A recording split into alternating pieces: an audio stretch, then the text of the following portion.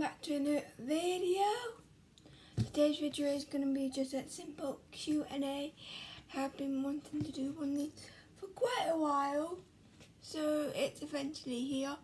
But let's just get straight into the video. So guys, so the first question is this, and I am 21, just turned 21 a month ago, so yeah. Next one. And to answer your question to this is I'm dealing with it quite well. I thought I would deal with it worse. Well, not really bad, but like overthink it more. But I'm actually doing quite well. But before lockdown, I did go out quite a lot. Like I went to my job, of course, and I did go shopping a lot. So I thought I would like deal with it worse. But YouTube has really helped me create content and film and upload is helping me quite a lot to stay busy.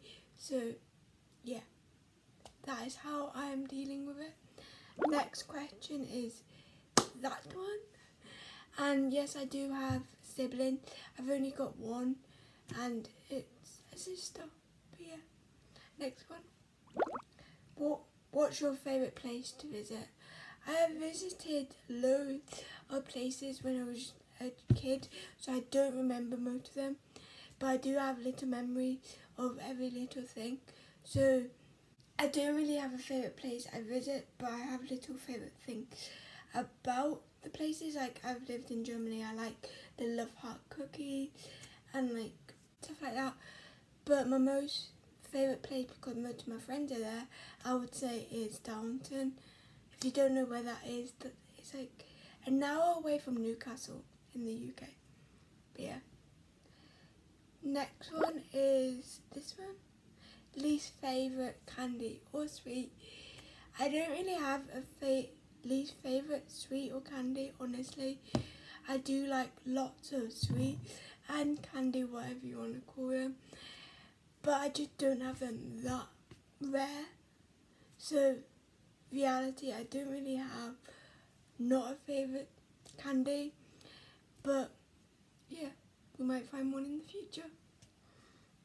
Next one is favourite fast food place.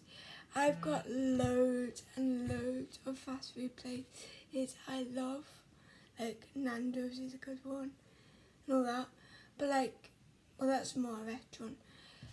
But most people would say McDonald's, but well, personally, I mean, I would say Burger King. I just love their like fries or chips and their burgers are better than McDonald's. Sorry if you like McDonald's. I do have McDonald's more often, but I prefer Burger King. But yeah. Next one is any holidays. If you mean any holidays planned, not at the moment. I don't really go on holidays. And if I do, it's with my family or I have went with like my friends and that before, but not any holidays planned in the future, as I know of. But yeah, next one. I'm trying to find what one I'm on. is happiest moment. Again, I don't really, I have loads of happiest moments, but the number one I would say is, there multiple ones, but just experiences of concert and all that, I've went to as many concerts as, as I have but I don't have an exact happiest moment. I have like probably sad moments I remember but not happier. I guess that's good because that means I have more happy moments than sad moments but I don't have a specific one that stands out. But yeah. Next one. Most embarrassing moment. I don't know if I have one. I like do little silly things like I have some songs that are like embarrassing to play in public. Not that they're bad, but like just songs you would not play out loud. But I'm the type of person that I rarely get embarrassed. Like I'm a proper open book, so I rarely get embarrassed. So yeah, that's the only embarrassing thing that sometimes if I'm not feeling as open-minded or like careless, I would be embarrassed if I was playing a song in public without my headphones. But yeah. Next one is your favourite book. Honestly, if I'm being honest, I don't have a favourite book. I have loads of books, loads and loads, but I never read them. Like last night I was thinking when I was falling asleep, I should actually start reading more. Next again day, I spent all day on social media, probably filming, doing workout. Now I will say that is productive, but I just want to get into reading more. I do want to read the Saffron Barker book.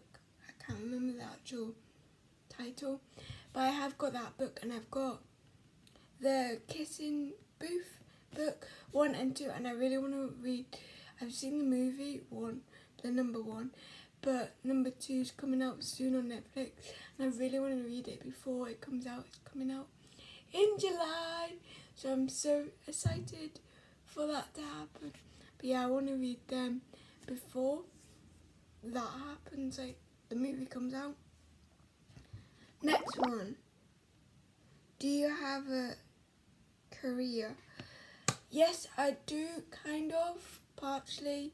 Like, I did have a job, but it's like a complicated thing. Like, I didn't get fired, but my job was like paid from another government thing and all that stuff that you can do now by governments and all that. But I was on one of them schemes, but now I just volunteer in the shop that I was working in and getting paid for.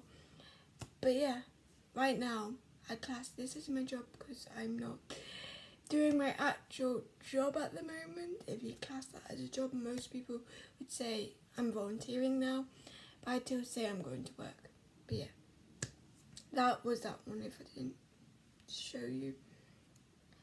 But next one and last and final one is what inspired you to start YouTube? Now, there's many reasons to this question. Many, many, many.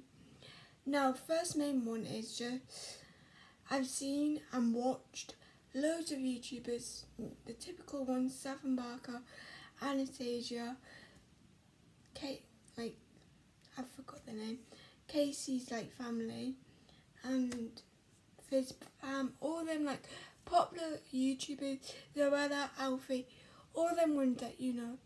And I've just always had, before I started YouTube, in my mind, what will it feel like to start YouTube? What will it feel like seeing the growth of my YouTube grow? What will it feel like filming and creating? And when I was thinking about that, I was like, this would be amazing. I would love this, and I do love it. So I'm glad I started it. But that is the main reason, is I saw people I kind of look up to doing YouTube, wanting to create content like this, but in my own way. And I just love creating content. And another reason now is I want to like help people out. I want to like inspire people to create content. I want to inspire people to do stuff with their fashion and beauty and just everything. I just want to inspire people and that's why I started. But I hope you enjoyed the video and let's get into the outro. Did you like it? Did you like it? Hope you enjoyed the video. I know it's just a quick video and probably a random one, but I wanted to do this for quite a while and you kind of got to know me a little bit more. If you want to get to know me a little bit more than this, I'll leave that thing up there. What is 10 facts or 5 facts I think about me. Personally, I think these are really good videos on getting to know the creator that you are watching or the influencer, if you would call me that. I would wouldn't call myself that right now because I'm not that big. But yeah, that video is right there if you want to check that one out and yeah hope you enjoyed don't forget to give it a thumbs up comment down below I always forget what side it's on comment down below and don't forget to subscribe and if you want to watch more of my content there will be two video well one playlist playlist of my fashion and one video suggested for you, my viewers. So, hope you enjoyed and I'll see you next time. Bye!